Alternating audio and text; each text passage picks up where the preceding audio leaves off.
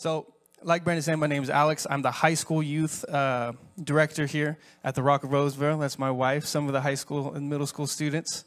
And um, I've been here for about four years, and it's been an honor to be a part of this body, to be a part of this family. And I'm just going to jump into it. I was saved November 24th, 2014. I was a drug addict. I was addicted to sex. I was addicted to the culture. I was addicted to everything that served me and honored me and what I wanted and what I wanted to do. That's what I wanted. But like we all know, there's an exchange. I want to gratify I, I want to gratify my soul and in exchange I get emptiness and I get a hole. But then Jesus came November 24th, 2014, and he set me free from all of that. And he set me free from my addictions, and he set me free, and now I'm saved, I'm sanctified, I'm in him. However, there's three things that I've learned. I've been walking with the Lord for six years now. There's three things that I've learned that will keep you obedience, suffering, and sacrifice. If you don't have those three in your heart, you're going to fail. You're going to be deceived by a false gospel that has entered into this church that says it's about your process, it's about your feelings, and it's about how people can serve you. That is not the word of God. Every day I read the Bible. Every day I'm trying to connect with Him because I know that I'm the problem. I know if I fall into a false gospel, like Galatians 1 says, I'm out and I just got deceived by the devil and I don't even know it. And in 2020, I watched so many friends that are close to me. The devil came into my backyard and I watched him pick people apart. And the worst part about it, I can handle friends that are like, you know, I don't want anything to do with Jesus anymore. I can handle that. That's easy. He's being real. The worst part about it is people saying, no, God says that I can do this. And God says that it's right. And, and there's an exchange. They're giving up their feelings, they're giving up their life, they're giving up their destiny. And ex- in exchange, they're taking on this false gospel with no power whatsoever. And this is not new. This happened in the first century church, right here, Galatians 1. Paul's writing to the Galatians and he says, I am astonished that you are so quickly deserting the one who called you to live in the grace of Christ and are turning to a different gospel, which is really no gospel at all. See, you can't distort the gospel. It's either for or against. There's no there's no gray area. God isn't gray. Sorry for those of you that watch that YouTube channel. God isn't gray. Evidently, some people are throwing you into confusion and are trying to pervert the gospel of Christ. In 2020, like I said, I watched so many of my friends get deceived and taken out. And they think that they're in the will of God. In these six years, I've had, I've had a handful of mentors in my life. And I, that, that discipled me, that encouraged me, that spent time and money on me and my development and my growth in Christ. And the sad part about it, I've watched every single one of them fall.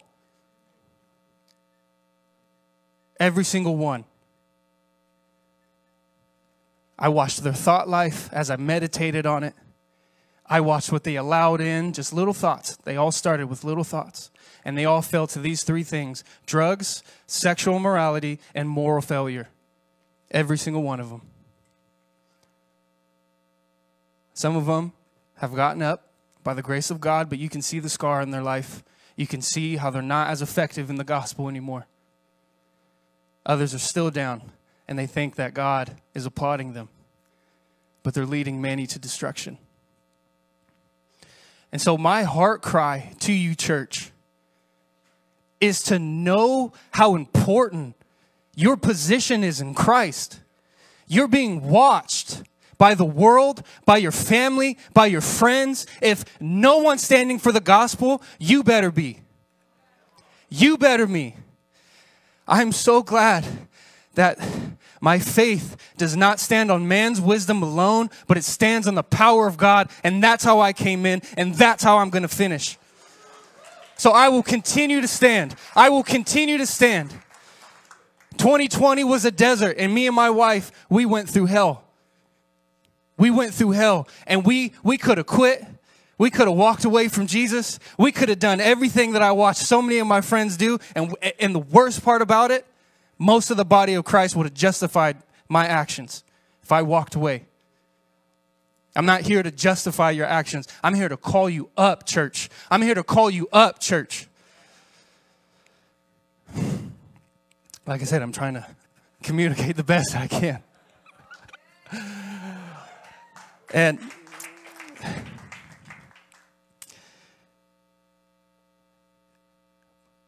those of you that are still suffering, those of you that are still in this place of sacrifice and hurt and pain, and you are moving forward from the scars, or you're trying to figure out what is this, what is this pain worth?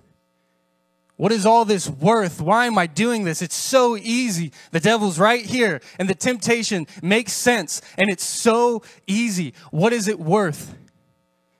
I need you guys to look into my eyes. It's worth this fire. It's worth this passion. And I promise you, if you hold on, if you hold on to Jesus, if you hold on to God and you endure in the gospel and you keep saying yes, keep saying yes, keep saying yes, the fire is going to grow within you. God is not going to forsake you. I have a hope that's greater. I have a hope that's greater than I can grab, than I can just muster all my strength up. I can't grab it on my own. There is a hope that's so far above me. And that's what keeps me going, is because I need Jesus. I need his hope. I need his life. I need his way. The three biggest deceptions of the soul I want, I feel, and I think the things that help transform your soul. He wants, he thinks, and what he feels. You are not made for you. I'm sorry. You were made for him and you were bought at a price. You were bought at a price. You, you are not your own.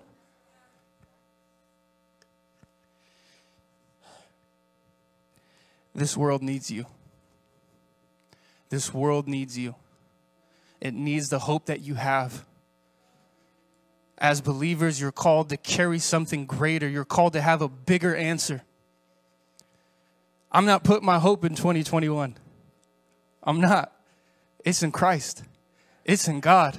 I'll go homeless and serve Christ. I'll go hungry and serve Christ. It doesn't matter. Doesn't matter where I end up as long as He's in my heart, as long as I can dwell in His house. That's it. That's all I want. That's all I want. And everything will be added. Doesn't matter. Doesn't matter what it looks like. Do you want to know how my 2021 started off? This is how it started. This is why I have no hope in it. This is why I have no hope in it. First call. I got a call from my buddy who uh, uh, he was a good friend in high school played football with him. He stayed at my house for about three months. We housed him for a little bit. And he just hit me up. He's my age. And uh, he texts me from prison. You're not supposed to have a phone, but hey, he did. You don't want to know how he got it. And he texts me from prison. And I said, Well, hey, what's up? What are you doing in prison? How's your vacation? And he says, uh, I'm here for life. And I said, Who did you kill? How many? And he said, I only got charged for one. Can you please write me and send pictures? He's my age. He's about to do more time than he has lived. The second message I got was from my stepdad who raised me since I was two years old. And he said, Hey, just letting you know, I'm homeless. I'm sleeping at Rush Park. I'm thinking of uh, a couple of your friends that are homeless. I don't know how I got here. That's my father. It's the man who raised me. And then there was a third phone call that I got. A third one. And this one fueled me. This one fueled me. And I'm still running off of that high. My buddy called me and he said, Hey, there is a woman who just got out from an ultrasound. She has a 19 week year old baby, and the baby doesn't have a heartbeat. Do you want to pray with her? Of course. Let's do it. Let's go after this. Let's go after this thing, man. So she shows up. I don't know her. I'm with me, my wife, my buddy Shane. And she says she has one more ultrasound, and it's a confirmation. And it's tonight. And the moment we sat down, we, we, we felt the presence of God right away. Right away. Right away. And this mama was like, I'm not even going to think about my baby dying. I'm going to, I'm going to press in. And so I said, okay, let's pray. And we prayed and we prayed and we prayed, and the power of God came. We all felt it. Every single person, we felt it. And I'm watching this mom with a dead child in her, who she's named, weep pray in the Spirit, and plead for God to give her this child. That night, that night, she goes to the confirmation ultrasound, and the doctor still said, The baby's dead.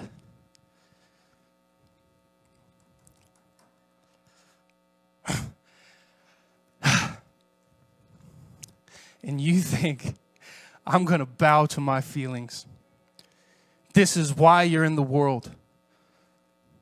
To let these failures, we missed it. I wish this mom has her baby. I wish that she, that this baby would come out. I wish, but I'm not going to stop.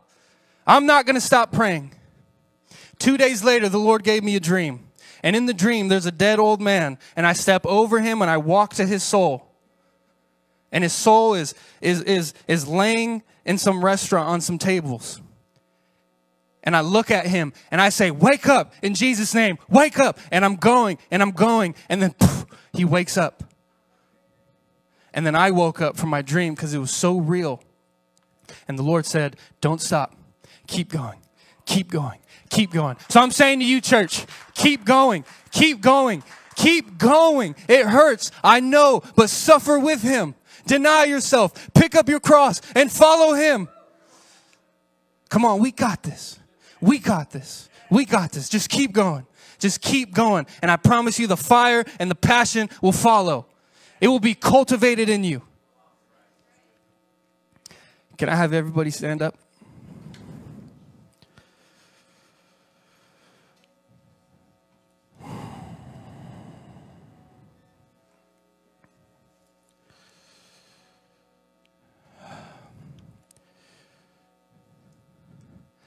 Everybody, just close your eyes, lift your hands, put them out in front of you. Your life is made for so much more. Do the hard thing. Do the hard thing. Do the hard thing. Your life is on display for the whole world to see, and for your family, and for your friends. And the world needs you. The world needs you to know Him because knowing Him is, is eternal life. And He is good. And He's going to deliver you.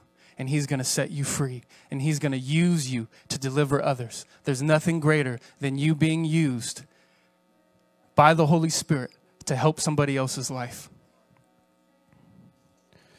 So, those of you that have been stung by 2020 and you've been trapped in apathy, your heart has been hardened, and you're thinking, Where is God? Where is He?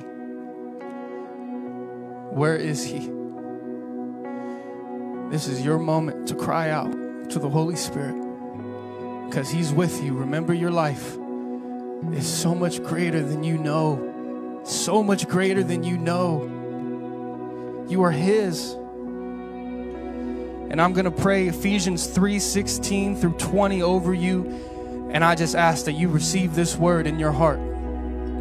This is Paul praying to the Ephesians. I pray that out of his glorious riches, he may strengthen you with power through his spirit in your inner being, so that Christ may dwell in your hearts through faith. And I pray that you, being rooted and established in love, may have power together with all the Lord's holy people to grasp how wide and how long and how high and how deep is the love of Christ, and to know this love that surpasses knowledge, that you may be filled to the measure of all the fullness of God. To him who is able to do immeasurably more than all we ask or imagine, according to his power that is at work within us. Christ be the glory. So, Holy Spirit, I thank you. I thank you right now for every heart in this room.